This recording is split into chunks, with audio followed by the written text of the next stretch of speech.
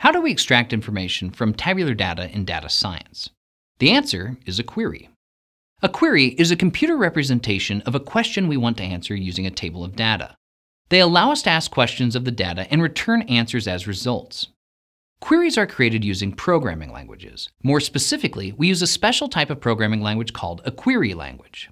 The most popular query language is Structured Query Language, or SQL for short. However, you can also perform queries using other programming languages like R and Python. For example, let's say we want to answer the question, what was Bill's average body temperature over the past five years? We could write this question in the form of a SQL query. The SQL query allows us to express that we want to select the average temperature from the vital signs table where the patient's name was Bill and the date is greater than or equal to January 1st, 2015, which we're assuming was five years ago. I've intentionally kept this query simple for those of you who've never seen a SQL query before. However, if you've had some experience with SQL, you can likely see several ways we could improve this query. When we execute this query, first, the database will scan all of the records in the vital signs table.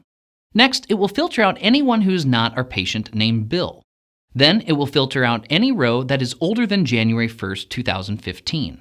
Next, it will select just the temperature column from the vital signs table. Finally, it will compute the average of the remaining temperature values. The computer will then return this value as a result. As we can see, the result of executing this query is 37 degrees Celsius. Essentially, this is how we get from a question to an answer using a query.